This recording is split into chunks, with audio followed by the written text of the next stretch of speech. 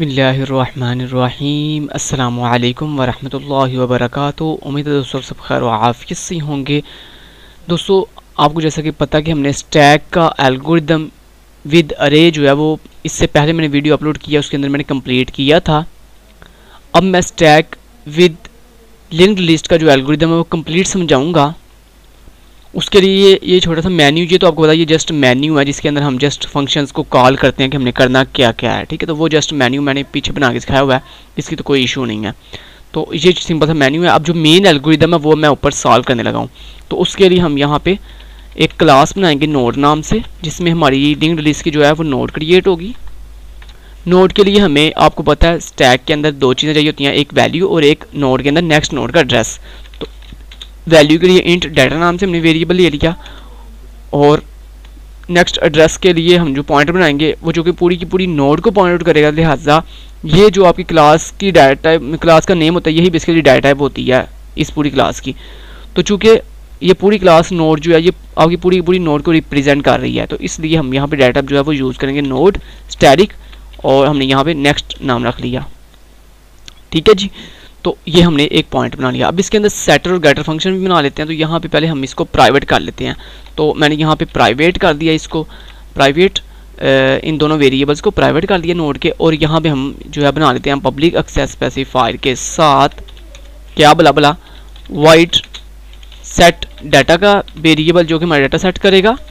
Okay अब data set करने के लिए हम यहाँ पे इंट एन नाम से एक वेरिएबल ले लेते हैं। जो हमारा डाटा सेट करेगा तो मैंने यहाँ पे कहा जो मेरा डाटा वाला वेरिएबल है, उसकी वैल्यू को इक्वल कर दो एन की वैल्यू के, यानी जो नीचे से एज ए पैरामीटर आई है। उसके बाद डाटा की वैल्यू को जब हमने गेट करना है तो उसके लिए हम रिटर्न सॉरी किस टाइप की वैल्यू रिटर्न कर रहे हैं? इंट टाइप क्योंकि डाटा वेरिएबल की डाटा क्या है? इंट इंट है। तो हमने यहाँ पे इंट डाटा के साथ क्या बना लिया? गेट डाटा नाम का मेथड बना लिया, जो हमें डाटा वाले वेरिएबल की वैल्यू क्या कर देगा? रिटर्न कर देगा। तो रिटर्न डाटा वाला वेरिएबल उसके बाद इसी तरह, ये जो नेक्स्ट नेक्स्ट पॉइंटर है, इसकी, इसके एड्रेस को भी नेक्स्ट सेट और गेट करने के लिए भी हम मेथड बनाएँगे। सेटर और गेटर तो वाइड सेट नेक्स्ट ठीक है? और सेट नेक्स्ट के अंदर हमें क्या आएगा? एक एड्रेस आएगा, पहले नीचे से आते पैरामीटर तो एड्रेस लेने के लिए हम पहले डाटा बताएँगे नोड स्टैरिक और हमने यहाँ पे लाइक ए नाम से, या या लाइक पीटीआर के नाम से आपने बना लिया एक पॉइंटर ठीक है? जिसमें आपका एड्रेस नीचे से आएगा, वो आपने किसमें रख देना नेक्स्ट नाम के पॉइंटर में तो नेक्स्ट इक्वल टू पीटीआर के, ठीक है जी?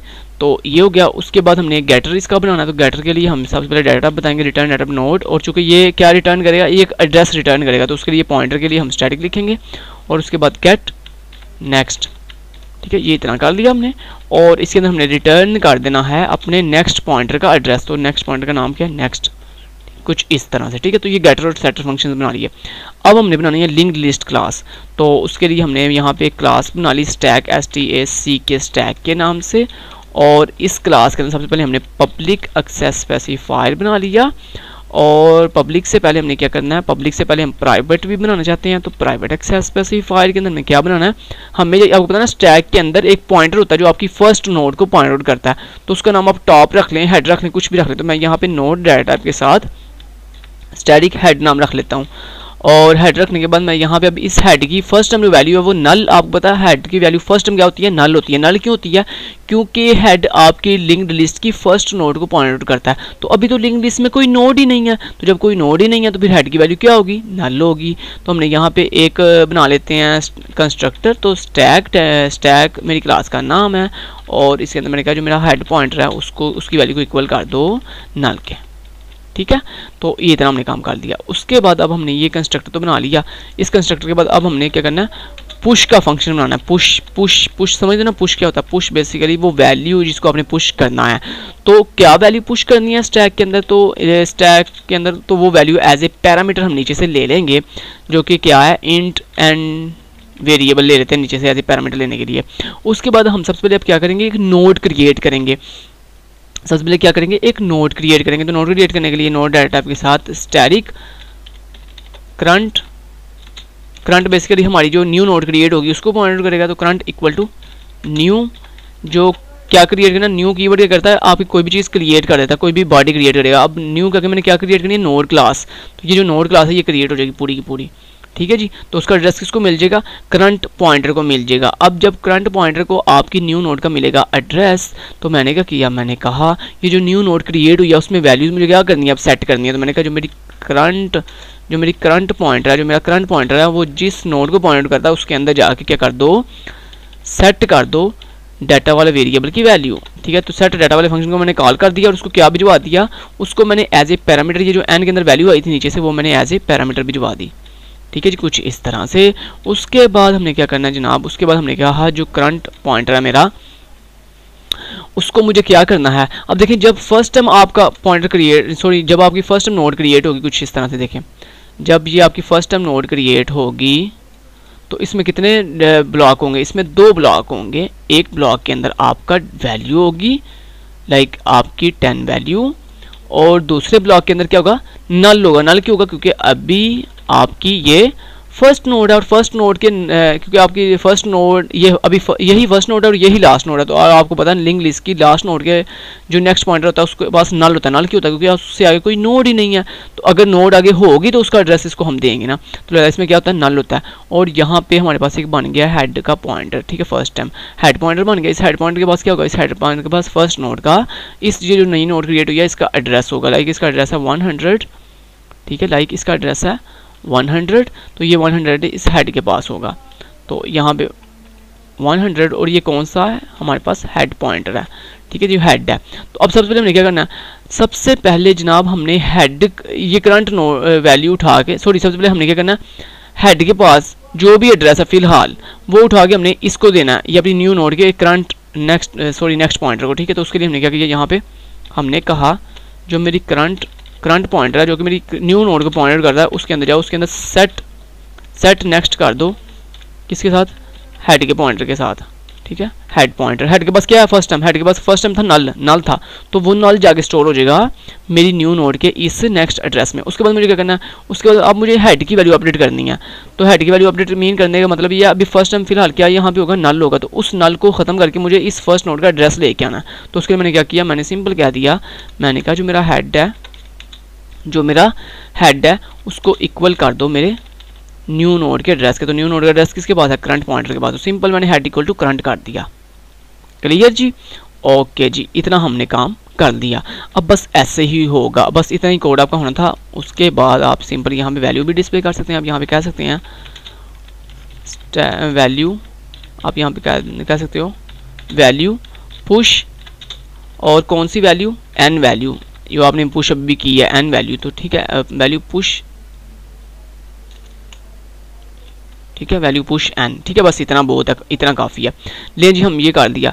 अब फ़र्ज़ करें आप आप सोच रहे होंगे कि जब नेक्स्ट नोड क्रिएट होगी तो उसका एल्गोरिथम कैसे होगा? तो देखें फ़र्ज़ करें आपने नेक्स्ट टाइम ये दोबारा पुश वैल्यू की ट्वेंटी अब क्या होगा एक और नई नोट बनेगी? तो आपको पता है ना स्टैक के अंदर एल्गोरिथम ये होता है कि ये जो नोट होती है ना, ये जो आप नई नई नोट देंगे, वो फ़र्स्ट के ऊपर बनेगी। वैसे तो आपको पता है लिंक लिस्ट में क्या तरीका होता है? लिंक लिस्ट में जो नोड क्रिएट होगी नहीं वो बाद में बनती है, यानी मेरी जो पहले से मौजूद नोड होती हैं, उन पहले से मौजूद नोड के बाद क्रिएट होती हैं। लेकिन स्टैक में ये काम उल्टा है। इसमें क्या होता है जो जो नई नोड क्रिएट होती जाएगी, वो यहाँ पे फ़र्स्ट पे ऐड होती जाएगी। यानी कहने का मतलब ये है कि आपकी जो भी नई नोड क्रिएट होगी, वो फ़र्स्ट पे ऐड होती जाएगी। तो अब जब आपकी नई नोड बनेगी तो वो क्या होगी? जब वो यहाँ पे आ जाएगी, कुछ इस तरह से। ऐसे हो जाएगी वो ऐसे बन जाएगी, और ये जो पहले से बनी हुई नोड थी, ये दूसरे नंबर पर चली जाएगी। ठीक है कुछ इस तरह से। अब यहाँ मैं आपको करके दिखाता हूँ ये आ, अमल कैसे करेगा। ये देखें। तो यहाँ पे पहले से जो वैल्यू पड़ी हुई थी उसके पास क्या वैल्यू थी? टेन ठीक है और उसका एड्रेस क्या था? वन हंड्रेड और उसके पास क्या पड़ा हुआ था? नल पड़ा हुआ था N U double L null ठीक है वो नल पड़ा हुआ था कुछ इस तरह से ठीक है जी। अब ये जो नई नोड क्रिएट हुई है इस एल्गोरिदम के मुताबिक उसके करंट में सेट वैल्यू वैल्यू होगी एन की तो लाइक फ़र्ज़ करें, हमने एन के दिया हुआ था ट्वेंटी वो ट्वेंटी यहाँ पे आगे सेट हो गया जैसे ट्वेंटी सेट हुआ, उसके बाद नेक्स्ट ये ये वाली लाइन चली। कि करंट करंट जो नोड है, यानी करंट नोड मीन ये जो न्यू नोड क्रिएट हुई है, इसकी वो बात कर रहा है। इसके अंदर जाके सेट नेक्स्ट कर दो हेड के। तो हेड के बाद फ़र्स्ट टाइम क्या पड़ा हुआ है? 100 तो वो 100 बेसिकली इसके नेक्स्ट में सेट हो जाएगा ये देखें 100 तो 100 सेट होने का मतलब क्या कि ये नो ये न्यू नोड इस नोड के साथ लिंक हो गई है। ठीक है, कुछ इस तरह से, ठीक है जी? और फ़र्ज़ करें इस न्यू नोड का एड्रेस है 200 टू हंड्रेड ठीक है? तो देखें कितना मैंने प्यारा एल्गोरिथम लिखा मैंने तीन लाइन के अंदर सारा काम कर लिया। उसके बाद जब ये लाइन चलेगी हेड इक्वल टू करंट तो ये क्या करेगा? करंट जो करंट जो पॉइंट है, यानी जो कि मेरी फ़र्स्ट नोड को पॉइंट आउट कर रहा है, उसकी जो भी करंट उसका जो भी एड्रेस है, वो उठ के हेड के पास आ जाएगा। तो हेड इसके न्यू नोड का एड्रेस क्या टू हंड्रेड तो ये टू हंड्रेड कहाँ आ जाएगा? हेड के अंदर आ जाएगा, इस लाइन के चलने से। तीसरी तीसरी लाइन के चलने से हेड की वैल्यू अपडेट हो जाएगी तो हेड के पास आ जाएगा टू हंड्रेड तो इस तरह ये कंटिन्यूसली अब चलता रहेगा, जितनी मर्ज़ी अब नोड आप इंसर्ट करते रहें, ये ऐसे चलता जाएगा चलता जाएगा चलता जाएगा ठीक है जी? ओके जी इतना काम हमारा हो गया। ये पुश हम निकाल दिया। अब हमने क्या करना है? अब हमने जनाब पॉप करना है। तो यहाँ मैंने क्या वाइट पॉप और पॉप जब चलता है, आपको पता है ना पॉप का मतलब क्या पॉप का मतलब होता है लास्ट स्टैक किस सूर पर काम करता है? लीफो के सूर पर LIFO L I F O LIFO LIFO mean last in first out last in mean जो सबसे लास्ट पे नोड ऐड हुई है, यानी सबसे लास्ट पे नोड कौन सी ऐड हुई है? ये वाली। ये तो पहले से ऐड थी। ये लास्ट पे ऐड हुई है, सबसे लास्ट पे जो नोड ऐड होती है, वो सबसे फ़र्स्ट पे रिमूव होती पॉप होती है। तो पॉप होने का मतलब है रिमूव होना। लिंक लिस्ट से बाहर ही चले जाना। डिलीट कर देना लिंक लिस्ट से, ठीक है? तो सबसे जो लास्ट नोट ऐड हुई है लिंक लिस्ट में, वो ये वाली है ना 200 वाली, जिसका एड्रेस 200 है तो ये क्या कर जाएगी डिलीट हो जाएगी, ठीक है? तो डिलीट कैसे करेंगे? उसके लिए सबसे पहले हम ये चेक करेंगे इफ़ अगर जो मेरा हेड पॉइंटर है, अगर वो इक्वल है नल के तो इसका मतलब है हम कह देंगे स्टैक इज़ एम हम कहेंगे कहेंगे एस टी एस सी के स्टैक इज़ एम ठीक है? ये इतना हमने कह दिया। अदरवाइज़ क्या होगा? अदरवाइज़ एल्स और एल्स में आगे क्या करेगा? हमारी लिंक लिस्ट जो लिंक लिस्ट की जो फ़र्स्ट नोड है फ़र्स्ट जो भी हमारी लिंक लिस्ट की फ़र्स्ट नोड होगी। फ़र्स्ट नोड क्यों? क्योंकि आपको पता ना फ़र्स्ट नोड ही हमारी लिंक लिस्ट की यहाँ पे अभी लेटेस्ट नोड है, जो अभी अभी क्रिएट हुई होगी। तो जो भी हमारी लिंक लिस्ट की फ़र्स्ट नोड है, उसको डिलीट कर दो। फ़र्स्ट नोड को डिलीट कैसे करना है? उसके लिए हम यहाँ पे नोड डाटा के साथ सबसे पहले एक स्टैटिक पीटीआर नाम से पॉइंटर बनाएँगे, जिसको फ़र्स्ट नोड का एड्रेस देंगे। कि जो नोड आपने डिलीट करनी होती है, उसका एड्रेस हमारे पास होना चाहिए। तो फ़र्स्ट नोड का एड्रेस किसके पास है? हेड के पास। हमने यहाँ पे कहा कि पीटीआर को इक्वल कर दो हेड के एड्रेस के। यानी हेड के पास जिस नोड का एड्रेस होगा फ़र्स्ट नोड का, वो एड्रेस उठ के पीटीआर के पास आ जाएगा। तो पीटीआर के पास आ गया एड्रेस फ़र्स्ट नोड का। अब फ़र्स्ट नोड को तो मैं इजीली कर दूँगा डिलीट लेकिन उससे पहले हमने क्या करना है? ये हेड को उठा के सेकंड नोड के साथ अटैच करना है। अब सेकंड नोड का एड्रेस किसके पास है? फ़र्स्ट नोड के इस नेक्स्ट पॉइंट के पास। तो मैंने यहाँ पे कहा, मैंने कहा हेड को इक्वल कर दो। किसके? हेड जिसको पॉइंट आउट कर रहा है, उसके अंदर जाओ और उसके अंदर गेट नेक्स्ट का डाटा उठा के लाओ और उसको उठा के हेड को दे दो। ठीक है गेट नेक्स्ट क्या करेगा? ये बेसिकली हमारे इस नेक्स्ट पॉइंट के अंदर जो भी वैल्यू पड़ी हुई है, उठा के हेड को दे देगा। तो हेड के पास आ जाएगा यहाँ पे, ये 200 रिमूव हो गया जाएगा 100 यहाँ पे आ जाएगा इस जगह पे। क्या बोला? 100 जैसे 100 आएगा तो क्या होगा बोला? ये हेड मेरा अटैच हो जाएगा। मेरी इस सेकंड नोड के साथ और ये ऑटोमेटिक फ़र्स्ट नोड अब मैं डिलीट कर सकता हूँ इजीली तो डिलीट करने के लिए सबसे पहले आप यहाँ पे क्या करोगे? आप यहाँ पे करोगे डिलीट ठीक है डिलीट तो डिलीट करने से पहले आप यहाँ पे बता दो पहले सी आउट करके कि आपने कौन सी वैल्यू डिलीट की है। तो वैल्यू वैल्यू पॉप और कौन सी वाली पॉप आपने की है? ये जो पी टी आर आप पी पी टी आर के बाद जिस नोट एड्रेस है इसके लिए आप वो वाली नोट पॉप करने लगे हो। तो मैंने कहा पी टी आर के अंदर जाओ, उसके अंदर गेट डाटा की वैल्यू डिस्प्ले कर दो। ठीक है, पता चलेगा पता चलेगा किस वैल्यू वाली नोट हम डिलीट करने लगे हैं, उसके बाद डिलीट कर दो। मैंने कहा उसके बाद कर दो? डिलीट कर दो पी टी आर को।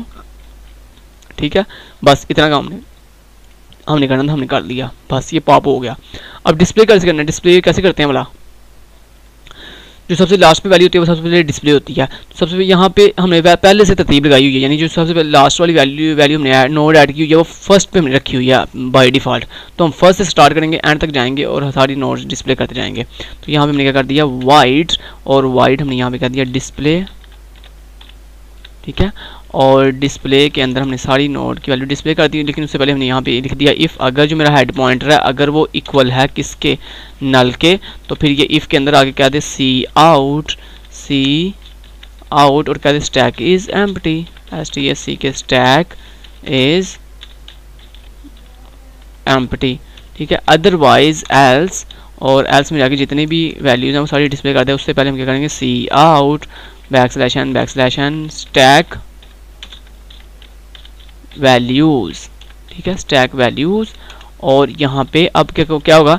अब बेसिकली दोस्तों हमने क्या करना है? हमने बेसिकली स्टैक वैल्यूज़ का मतलब यह कि लिंक लिस्ट में जितने भी नोड हैं, उन सबको वन बाय वन विज़िट करना है फ़र्स्ट से लेकर एंड तक जाना है, और सारी नोड की वैल्यू को डिस्प्ले करना है। तो नोड की वैल्यू सारी नोड की वैल्यू को डिस्प्ले कौन करेगा?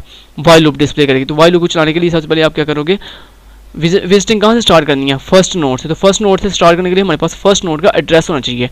तो उसके लिए हमने क्या किया? हमने कहा नोट डाटा के साथ एक पीटीआर बना लिया, जिसको हमने अपनी फ़र्स्ट नोड का एड्रेस दे दिया, यानी हेड का एड्रेस उठा के पीटीआर को दे दिया। मैंने कहा, जब तक P T R not equal to है नल के, तब तक ये वाई लूप चलती रहे, और क्या करे कि सी आउट वैल्यू डिस्प्ले करती जाए साथ साथ और यहाँ पे पी टी आर के अंदर जाके उसका गेट डाटा वाला फ़ंक्शन चल जाए, और वो वैल्यू हमें रिटर्न कर दे करे। जो सी भी करंट नोड होगी, उसकी करंट उस करंट नोड की वैल्यू हमें ये गेट डाटा वाला फ़ंक्शन जो है रिटर्न कर देगा, और वो डिस्प्ले हो जाएगी स्क्रीन के ऊपर। उसके बाद हमने क्या करना है? अब एक नोड की हमने वैल्यू डिस्प्ले कर दिया, उसके बाद हमने नेक्स्ट नोड पे जाना है। तो नेक्स्ट नोड पे कैसे जाएँगे? नेक्स्ट नोड का एड्रेस किसके पास है? करंट नोड के नेक्स्ट पॉइंटर के पास। सिंपल मैंने कहा पी को इक्वल कर दो। पी के अंदर गेट नेक्स्ट के। यानी पीटीआर इस वक्त जिस करंट नोड पे खड़ा है, उस करंट नोड के अंदर जो गेट नेक्स्ट वाला पॉइंटर है, वो हमें अपने अपना एड्रेस जो है, वो गेट करे सॉरी रिटर्न करे, वो जो भी रिटर्न करेगा, वो हम पीटीआर को दे देंगे। तो इजीली पीटीआर जो है, वो आगे वाली नोड पे मूव कर जाएगा ले जी, इतना हमने काम कर लिया, ये आपका डिस्प्ले वाला फ़ंक्शन हो गया। डिस्प्ले वाला फ़ंक्शन हो गया, उसके बाद हमने सर्च वाला फ़ंक्शन चलाना है।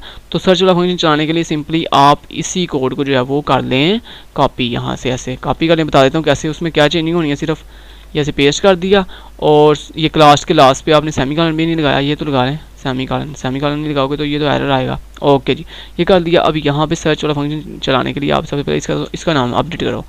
इसका नाम चेंज करो सर्च ठीक है? अब सर्च आपने क्या करना है, वो आप यहाँ पे वैल्यू दोगे। एज ए पैरामीटर जिस वैल्यू आपने सर्च करना है तो इंट एन के अंदर वो वैल्यू आ जाएगी हमारे पास। ठीक है जी? ओके जी, ये आ गई वैल्यू ओके जी वो वैल्यू आ गई। उसके बाद हम क्या करेंगे? स्टैक वैल्यूज़ के अंदर आके हम यहाँ पे अब ये स्टैक वैल्यूज़ डिस्प्ले नहीं, हो, नहीं होगा बेसिकली क्या होने लगा है? यहाँ पे सबसे पहले फ़र्स्ट नोट से स्टार्ट करेंगे और लास्ट नोट तक हम विज़िट करेंगे। वन बाई वन तमाम नोट्स को चेक करेंगे और वाई रूम में एक दफ़ा जाके हम क्या करेंगे? इफ़ के साथ चेक करेंगे। क्या जो मेरी एन की वैल्यू है क्या वो मैच कर रही है? किसके साथ? पी टी जिस नोट पर खड़ा उसके अंदर जो गेट डाटा डाटा है ठीक है? उसकी वैल्यू के साथ अगर तो मैच कर रही है। तो सिंपल इस इफ़ कंडीशन के अंदर आ जाए और वो वैल्यू डिस्प्ले कर दे स्क्रीन पे सिंपली यहाँ पे डिस्प्ले कर दे और सॉरी यहाँ पे कर दे back slash N back slash N यहाँ पे कह दे सर्च वैल्यू ठीक है? और वो सर्च वैल्यू जो भी होगी उसकी, ठीक है? वो पीटीआर के अंदर गेट डाटा और उसके बाद हम यहाँ पे एक वेरिएबल बना लेते हैं हेल्पिंग के तौर पर फाउंड प्लस प्लस के नाम से। अगर वैल्यू मिल जाएगी तो ये फाउंड वेरिएबल अपने आप को प्लस प्लस कर देगा और स्टार्टिंग के ऊपर इस फाउंड वेरिएबल की वैल्यू को हम ज़ीरो से इनिशलाइज कर देंगे। तो int F O U N D found equal to zero equal to zero ठीक है? तो अगर फाउंड वेरिएबल की वैल्यू ज़ीरो ज़ीरो ही रहेगी तो इसका मतलब वैल्यू नहीं मिली। लेकिन अगर वैल्यू मिल जाएगी तो फाउंड वेरिएबल की वैल्यू इंक्रीमेंट हो जाएगी। उसके बाद वाइल लूप से बाहर निकल के हम चेक कर लेंगे। इफ़ अगर जो मेरा फाउंड वेरिएबल है, अगर उसकी वैल्यू अभी भी ज़ीरो की इक्वल है तो फिर हम इफ़ के अंदर जाकर कह देंगे कि value can't found value can't F O U N D found value can't found इतना कर दिया। अब उसके बाद हमने करना है अपडेट वाला फ़ंक्शन तो अपडेट वाला फ़ंक्शन भी सेम है ऐसे ही होगा, सिर्फ़ यहाँ पे थोड़ी चेंजिंग होगी, थोड़ी सी चेंजिंग होनी है। उसके लिए हम यहाँ पे इसी को सर्च वाले को डुप्लीकेट कर लेते हैं ताकि हमारा टाइम ज़्यादा वेस्ट ना हो। बात तो वो है समझाने की, वो और वो आपको पता मैं आपको समझा दूँगा। तो अब इसका नाम हम चेंज कर देते हैं जी अपडेट रख लेते हैं।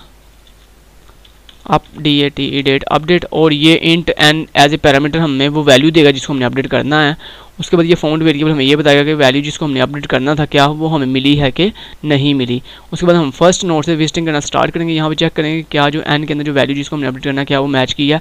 अगर तो वो मैच कर गई है तो फिर यहाँ पर हम क्या कह देंगे यहाँ पर हम कहेंगे न्यू वैल्यू न्यू वैल्यू वो जो भी वैल्यू देगा वो हम उठा के पुट कर देंगे। और यहाँ पे सॉरी यहाँ पे काम करना है। इत, इतना कर लिया और सी इन और सी इन के अंदर पीटीआर जिस नोट पे खड़ा है उसके अंदर जाके। उसके अंदर जाके हम क्या करेंगे यहाँ पे सॉरी यहाँ पे पहले सी इन कर लेते हैं। एन के अंदर वो वैल्यू ले लेते हैं जिसको हमने आप जिसको जो है सॉरी एन एन वेरिएबल है। ठीक है? उसके अंदर हमने वो वैल्यू ले ली जो अपडेट करने के बाद रखनी है हमने। ठीक है? और उसके बाद हम यहाँ पे क्या करने लगे हैं? हमने यहाँ पी का पीटीआर के अंदर क्या कर दो? सेट डाटा कर दो एन वेरिएबल की वैल्यू ठीक है? और उसके बाद यहाँ पे मैसेज आ जाएगा कि value updated successfully back slash n back slash n value updated sorry यहाँ पे क्या आ गया? अपडेटेड सॉरी सक्सेस फुली ले जी, इतना हमने कर लिया ये काम करने के बाद बाकी सारा कोड वैसे ही रहेगा फाउंड वेरिएबल की वैल्यू प्लस प्लस हो जाएगी, अगर रिकॉर्ड फाउंड अपडेट हो जाएगा तो। अदरवाइज़ फाउंड वेरिएबल की वैल्यू ज़ीरो ही रहेगी लास्ट में जाकर चेक कर लेंगे। इफ़ अगर found variable equal to zero है तो वैल्यू कांट फाउंड और ये जो वाइल लुक के वाइल लुक के अंदर ये P T R equal to P T R get next है, ये बेसिकली क्या कर रहा है? पी टी आर को नेक्स्ट नोट पर लेके जाने में हेल्प कर रहा है उसकी। ठीक है जी, इतना लेके जी हमने काम कर लिया। ये काम करने के बाद अब आप आ जाएँ जनाब यहाँ पे और आके अपनी सबसे पहले ये जो आपकी क्लास आपने बनाई है स्टैक नाम से, इसका आप जो है वो बनाएँ ऑब्जेक्ट जिससे आपने कॉल करना है उसको। तो सबसे पहले आपने अब क्या करना है? सबसे पहले ओह सॉरी यहाँ पे नहीं, यहाँ पे। एस टी एस सी के स्टैग में जो क्लास है, उसका एस नाम से मैंने ऑब्जेक्ट बना लिया। ठीक है? और यूज़र से जो वैल्यू हमने ए पैरामीटर भिजवानी है, उसको लेने के लिए मैं यहाँ पे कामा एन नाम से एक वेरिएबल ले लिया, जिसमें वैल्यू मैं लूँगा यूज़र से। ठीक है, और केस वन के अंदर हमने क्या करना है? पुश करनी है वैल्यू तो पुश करने के लिए सबसे पहले हम क्या करेंगे? सी आउट और यहाँ पे वैल्यू ले लेंगे पहले यूज़र से। तो हम यहाँ पे क्या देंगे? एंटर वैल्यू वो जो भी वैल्यू देगा सी इन एन के अंदर रख लेंगे, और S dot push N S dot push तो हमने वैल्यू जो है वो पुश कर दी, किसके ज़रिए, ये जो एन के अंदर यूज़र ने अभी भी वैल्यू दी है, वो पुश कर दी हमने। ठीक है जी? तो ये हमारी जनाब वैल्यू हो गई है पुश अब उसके बाद टू के ऊपर हमने क्या करना है? पॉप एस डॉट पॉप ठीक है? ये पॉप कर ली वैल्यू डिस्प्ले के अंदर हमने डिस्प्ले करना सिंपली एस डॉट डिस्प्ले ठीक है, और उसके बाद जब हमने वैल्यू करनी है सर्च तो सर्च कौन सी वैल्यू करनी है, उसके लिए भी हमें वैल्यू लेनी पड़ेगी ऊपर से। तो एंटर वैल्यू लेने के लिए हम यहाँ पे इसी चीज़ को कॉपी कर लेते हैं, और यहाँ पे पेस्ट और यहाँ पे भी पेस्ट कर दिया। अब यहाँ पे एस डॉट अपडेट वाला फ़ंक्शन चलेगा, और यहाँ पे S dot S E A R C H search वाला फ़ंक्शन चल जाएगा। ठीक है जी? ओके जी, हो गया इतना। और यहाँ पे इसको आप कंपाइल करते हैं। सॉरी यहाँ पे कह रहा कहता current was not declare in this scope कहता करंट क्या चीज़ है? तो करंट यहाँ पे C U double R E N T current set next okay current हमने यहाँ पे दिया हुआ है ऑलरेडी करंट क्या प्रॉब्लम है इसके साथ? क्या एरर आ रहा है इसके ऊपर? लाइन नंबर फोर्टी के ऊपर एरर है हमारा। सी यू अच्छा अच्छा अच्छा समझ आ गई। ये हमने तीन दफ़ा आर लिख दिया था। ओके ये हो गया इतना। अब सही चलेगा हमारा। कंपाइल के दोबारा से। और ये देखें, ये बिल्कुल ठीक वर्क कर रहा है। अब देखें, हम इसमें वैल्यू दे के देखते हैं। सबसे पहले हमने क्या किया? वन के साथ पुश करके देखते हैं। तो देखिए यहाँ कहता है एंटर वैल्यू लाइक मैंने क्या पहली वैल्यू दी टेन वैल्यू पुश टेन उसके बाद फिर हमने वन किया पुश करने के लिए ट्वेंटी ठीक है, जितनी मर्ज़ी आप वैल्यू आप देते जाएँ थर्टी और उसके बाद फोर्टी। और उसके बाद फिर मैंने वन किया फिफ्टी देने के लिए फिफ्टी और ये फाइव वैल्यूज़ मैंने पुश कर दी अब मैं डिस्प्ले करके दिखाता हूँ आपको। तो ये उल्टी डिस्प्ले होंगी। आपको पता ना स्टैक में उल्टी वैल्यू डिस्प्ले होती है। जो सबसे लास्ट पे अपनी वैल्यू दी होती है फिफ्टी दी है अपने सबसे लास्ट पे ना तो वो सबसे पहले पहले डिस्प्ले होगी। ये स्टैक का असूल है लीफ हो ठीक है अब डिस्प्ले किया और वो देखें। पहले सबसे लास्ट वाली वैल्यू फिफ्टी फिर फोर्टी फिर थर्टी फिर ट्वेंटी फिर टेन ठीक है जी? ओके जी। अब अगर मैं पॉप करूँ वैल्यू तो कौन सी वैल्यू पॉप होगी? फिफ्टी तो वो देखें वैल्यू पॉप फिफ्टी ओके जी, इतना हो गया। उसके बाद अगर मैं सर्च करूँ लाइक फोर्टी फोर के साथ तो मैंने अगर फिफ्टी सर्च किया तो कहता है वैल्यू कांट फाउंड क्यों? क्योंकि फिफ्टी तो हमने पॉप कर दिया उसके बाद अगर हम अपडेट करें लाइक मैंने अपडेट कर दिया फाइव के साथ अपडेट किया। किसको अपडेट करता हूँ? फिफ्टी को सॉरी फोर्टी को अपडेट करता हूँ। कहता न्यू वैल्यू लाइक मैंने कह दिया फिफ्टी हमने फोर्टी की जगह पे फिफ्टी रख लिया। तो अब अगर हम दोबारा डिस्प्ले करें थ्री के साथ, वो देखें फोर्टी जगह फोर्टी की जगह पे अपडेट हो गया fifty fifty thirty twenty and ten ठीक है जी, अगर हम दोबारा पॉप करें टू के साथ तो अब फिफ्टी पॉप हो जाएगा। और बाकी हमारे पास तीन वैल्यूज़ रह जाएँगी। अगर मैं डिस्प्ले करके दिखाऊँ तो देखें thirty twenty and ten clear जी? अगर आप दोबारा पॉप करो टू के साथ, फिर दोबारा पॉप करो टू के साथ, फिर दोबारा पॉप करो टू के साथ और अब अगर आप डिस्प्ले करो थ्री के साथ, वो कहता है stack is empty stack is empty क्यों? क्योंकि आपने जितनी भी वैल्यू थी, वो सारी वन बाय वन पॉप कर दी हैं। ओके जी तो यहाँ पे सिक्स के साथ अब अब एग्जिट कर दें अपना सिस्टम लें जी, ये था आपका स्टैक पूरे का पूरा complete step by step algorithm stack with using linked list ठीक है? अगर दोस्तों वीडियो अच्छी लगी है तो प्लीज़ वीडियो को लाइक करके चैनल को सब्सक्राइब करके ऑल नोटिफिकेशन ऑन कर दीजिएगा। Thank you so much till then guys take care अल्लाह हाफिज़।